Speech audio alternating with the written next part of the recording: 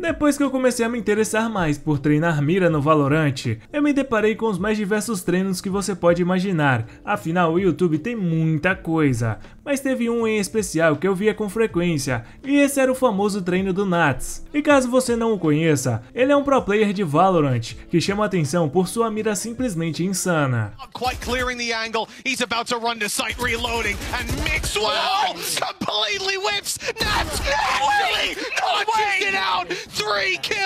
E o treino que ele faz para ter essa mira toda é o seguinte: você tem que ir no The Range e fazer 15 repetições de 100 bots, 15 vezes bots no difícil e jogar 5 vezes o mata-mata. Um treino que só de falar já sabemos que é bem cansativo, mas eu me interessei por esse desafio e comecei a fazer esse treino que todo mundo fala.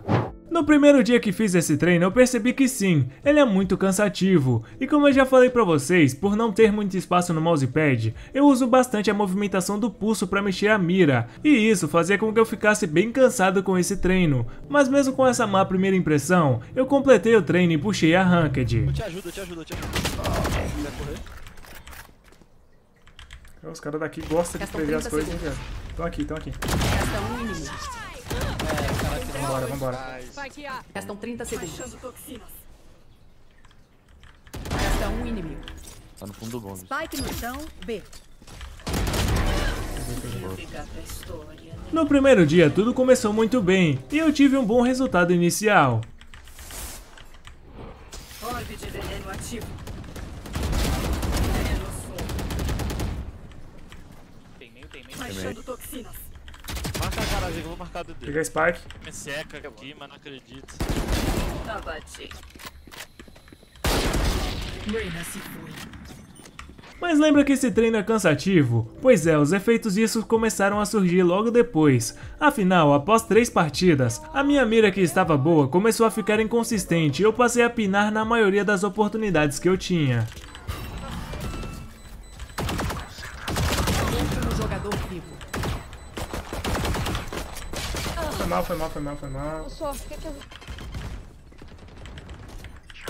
Peguei a Tem reais, tem reais. Tem reais. Peguei, preparou Ah, vacilei, vacilei, perdão, velho. Mas enfim, era só o primeiro dia. Logo após eu ia me adaptar e as coisas iam melhorar consequentemente. Confia. Bom, no segundo dia eu fiz o treino completo e fui pro competitivo todo esperançoso de que dessa vez as coisas seriam melhores. Mais um meio miado. Por que, eu tô sozinho nesse bombinho, velho? Jet tá miado mesmo, direito. Ao menos salve. Ah, não vi. Veneno Ah tá, eu achei que ele tinha matado a Rende, só a Rende tá miado. Eu sou va- Tô Querem brincar? Calma, Vamos calma, brincar. calma. Sai, sai do bombe, joga. Peguei três aqui. E realmente começaram melhores e eu estava até indo bem. Tem smoke? Não, né? Spot em 8, velho.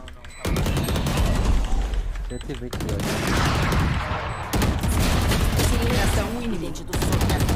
Esquerda, esquerda, esquerda. Vambora. Falei, seu psicológico. Acaba com eles. Encontramos um. No chão, A. Resta um inimigo. Mas foi nesse dia que eu percebi um certo padrão, pois como o treino era cansativo, nas primeiras partidas eu jogava numa boa, mas depois da terceira o cansaço no pulso acabava me boicotando de certa forma, e eu passava a pinar mais do que quando eu era prata. Vai per meio, vai, Vai menos pro meio, 40. vai. Querem brincar? Vamos brincar. Foi mal, trolei, trolei.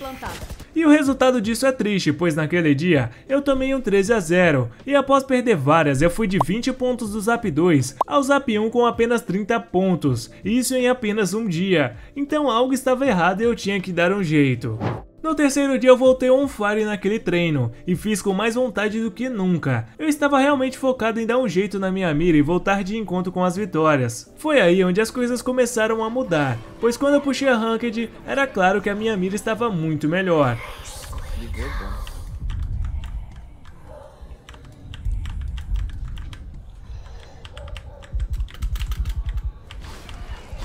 Resta um inimigo.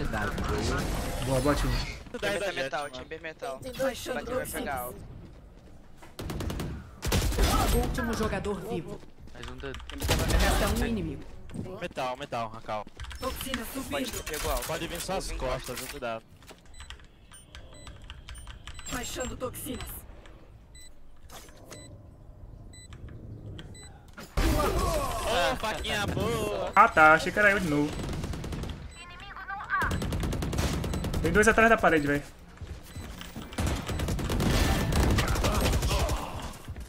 Resta um inimigo. Areia, areia. Bora. GG, time.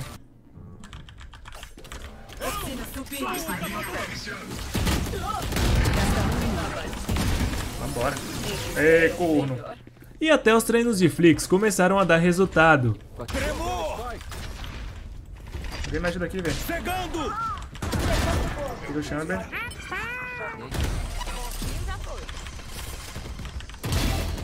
E o cara do meio. Tem meio aqui. Peguei a, a Jet recolher. Mas cá entre nós, após um tempo jogando, aquelas velhas pinadas aleatórias seguiam me perseguindo. Caralho, o que, que tá acontecendo comigo, rei? Spike plantada. Restam 10 segundos. Spike plantada. Resta um inimigo. Prenda. Vou te encontrar. Marquei um. Ah, velho. NT jogou muito. Foi mal, velho, foi mal, foi mal. Mas mesmo assim, o retrospecto do terceiro dia foi bom, e eu novamente fiquei na porta do Zap 2. O quarto dia foi um tanto aleatório, pois finalmente eu havia voltado a ganhar, mas a minha gameplay estava bem michuruca. Depois a gente entra no ponto O chamber meio. Inimigo no ar.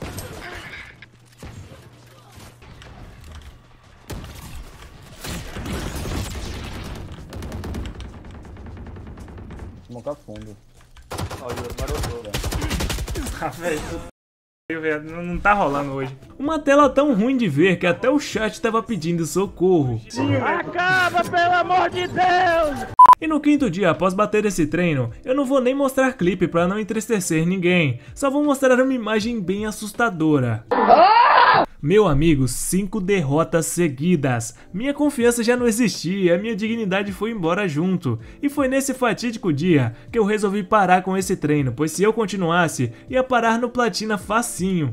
A verdade é que eu não consegui me adaptar a essa rotina de treino, e não estou falando que essa rotina é ruim, só estou dizendo que comigo não deu certo. Pois se você procurar na internet, vai ver muita gente que faz e ama esse treino do Nats. Aliás, tem um vídeo do ABW que eu recomendo pra vocês, onde ele mostra a experiência dele com essa rotina, e a experiência dele é bem diferente da minha. Por fim, resolvi voltar ao treino do pancada, que é a rotina que já dá certo pra mim. E um dia após, eu que estava zerado no Zap 1, já consegui voltar pro Zap 2 após 6 vitórias seguidas. Ou seja, é melhor eu focar no que tá dando certo. Mas e você? Já fez o treino do Nats? Se sim, qual foi a sua experiência com ele? Comenta aí! E se você quer assistir um cara que está tentando recuperar sua dignidade, me segue lá na Roxinha e vem acompanhar o meu trabalho. Faço lives por lá e os horários estão aí na descrição. Então é isso, até a próxima e valeu!